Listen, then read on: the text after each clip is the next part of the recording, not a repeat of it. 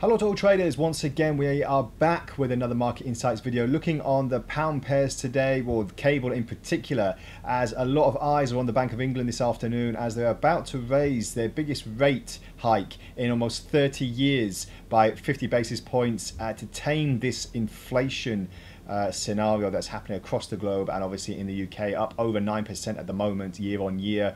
It's not looking like it's going to come down anytime soon. The Bank of England is trying its best to uh, get out of this uh, stagnation, which is sorry, stagflation, which is really, really uh, weighing down on a lot of homes around the world and also in the UK more particular today. So Bank of England, the main subject today, uh, we had the Fed last week that are still aggressively raising rates and now the Bank of England, US, European Central Bank as well, is also on in line to start raising rates as well. But more importantly, what will this mean for cable? We've had a lot of interaction with the American dollar in the last few weeks, so we'll switch our attentions to the pound as well. But you have to say that it's very bad news for people that have got loans people that have got uh, credit cards to pay off and things like this because inflation is still soaring and obviously now rate hikes are going to be uh, higher as well. So is this going to be a happy medium for a lot of people? Probably not in the near term as the Bank of England and other uh, traders and analysts think that inflation will actually top 15%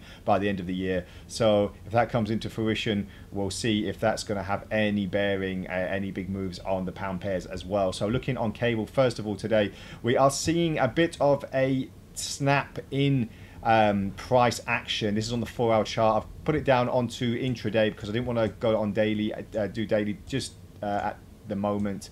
We're looking now that prices are moving away from this bullish scenario. We've had this kind of ascending uh, channel for quite a few sessions now, but as you can see, we are dropping out of it and consolidating to the mid to lower 121 region as well. So what we're thinking at the moment is going to be a little bit more consolidation until we get the announcement from the Bank of England and then we can see prices move higher. We're saying this because when the Fed announced uh, their rate hike, the euro dollar pair actually jumped by over 50 pips. So we're looking at another move to the upside for the pound dollar at the moment, but that can also uh, have a detrimental reading and then move a little bit lower as well once we've seen this snap to the upside.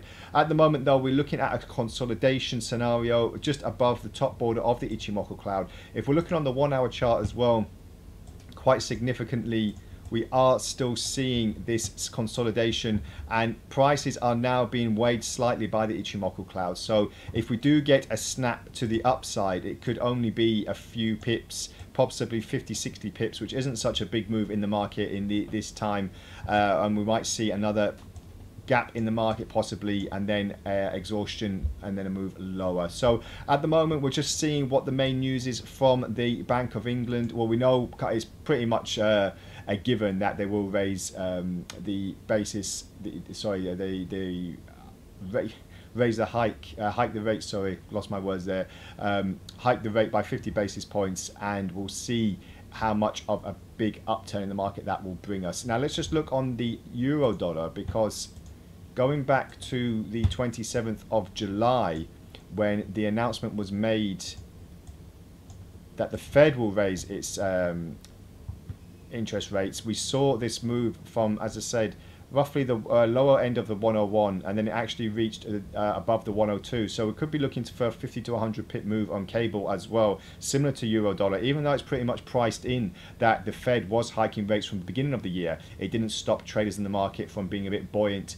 um, against uh, the, the dollar as well. So we're looking at the moment what the concerns are in the economies not only in Europe but around the world. Obviously, Europe is supposed to be falling into a recession, and the UK by the end of the year, similar to the uh, to America. You know, two negative readings on GDP data does spell uh, for quite a rough ride. But if we're looking in the near term for uh, the euro dollar as well, just want to keep an eye on this as we go into today's session. We're now looking to see a slight progression in the market. And if we see a break on this bottom border of the Ichimoku cloud, we could see another move to the upside cloud engulfment, and then we can see possibly these other regions being hit by the end of the trading week, which is only tomorrow. Obviously, we've got the NFP tomorrow as well. Uh, it's supposed to be a detrimental reading for jobs numbers, but it is still in positive territory, so it's something to keep an eye out for as well if the, we see a strong dollar or not. And just want to plug and uh, my to join me for my webinar tomorrow. It will be live with my market analyst Daniel who will also take us through the comings and goings of the last month and to see what our price predictions are for the rest of August as well. So don't forget to join us for that. Sign up and book your seat. And obviously, we'll be there to answer any live questions you may have on big commodities, uh, gold and oil, and obviously the main Forex pairs in the market as well. So that's all from today's video. So join me tomorrow for tomorrow's webinar on the NFP, and we'll speak again then. Bye for now.